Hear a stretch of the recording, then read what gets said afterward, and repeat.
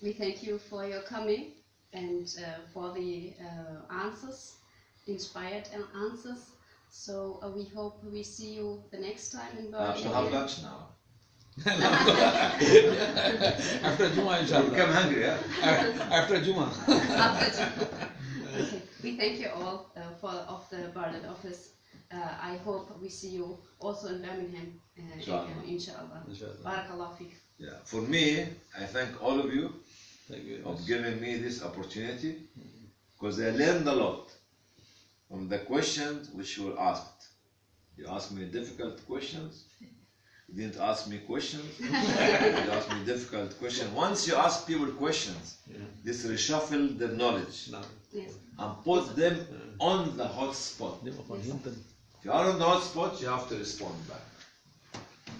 So, me to thank you. I left a very high level meeting in the Foreign Office here in Germany mm -hmm. to be with you.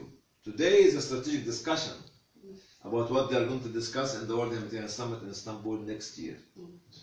But they said you are more important. You are more important. You are more important. I have somebody else there to attend the meeting. Tariq, you met him. Okay?